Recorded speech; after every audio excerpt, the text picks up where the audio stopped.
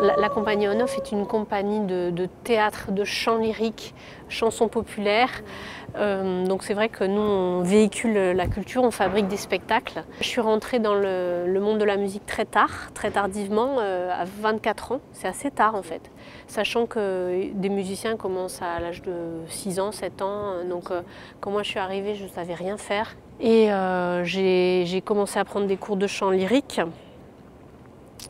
Et j'étais très très très très impressionnée, même tétanisée par, euh, par cette ambiance-là qui était euh, le, conservatoire, c'était le panthéon de la musique. Et en même temps, je me disais, mais c'est bon quoi, on va se décontracter. Euh. Et donc j'avais envie que les gens se disent, mais, mais en fait c'est super la musique euh, classique aussi, c'est beau. Euh. à partir du moment où on aime faire quelque chose, on devient bon même si on, s'y prend très tard. Si, si l'objectif c'est de passer à la télévision ou de gagner des millions ou, de, ou d'avoir sa tête euh, en haut de l'affiche, je pense que c'est pas une motivation qui va être euh, saine dans le sens où ça peut marcher, mais ça peut, ça peut aussi vite dégringoler. Rien n'est jamais acquis.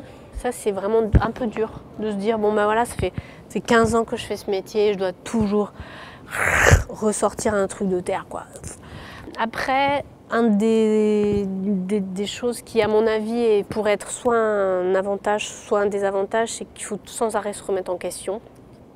L'essentiel, quand même, c'est de la formation. Parce que la formation génère le réseau, indéniablement. Si tu as fait l'école euh, Boule, ou enfin une école de théâtre renommée, tu es dans, déjà dans un réseau. Si tu euh, si as envie de, si es dans la curiosité, dans la joie, ma foi, ça va se faire petit à petit. Euh, je pense que c'est ça, c'est d'être capable de dire ben ça, je peux le faire et je vais le faire et, et, pas se poser trop, trop, trop de questions. Il n'est jamais trop tard et en même temps, il n'y a pas une seconde à perdre. Moi, c'est ce que je crois à vouloir parler.